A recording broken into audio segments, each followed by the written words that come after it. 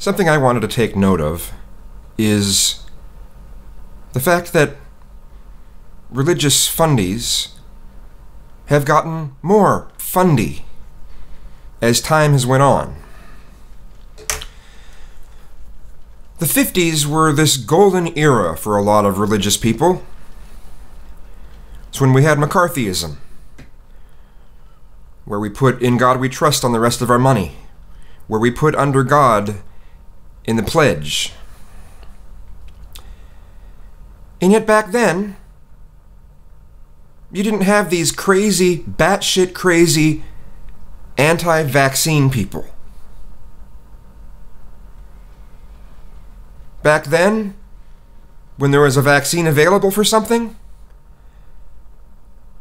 in public schools, they would have everyone that comes to that school be required to get the shots there at the school.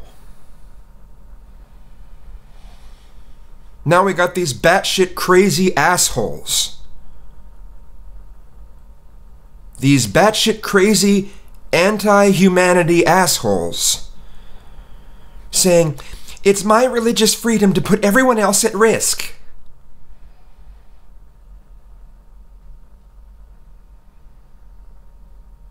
They've become more fundy. They've become more crazy. They've become more unglued. And people have lost sight of what it actually means to have religious freedom. It's not your religious freedom to put all these other kids at risk. It's not your religious freedom to spread measles. Let's hope there's not a polio outbreak again.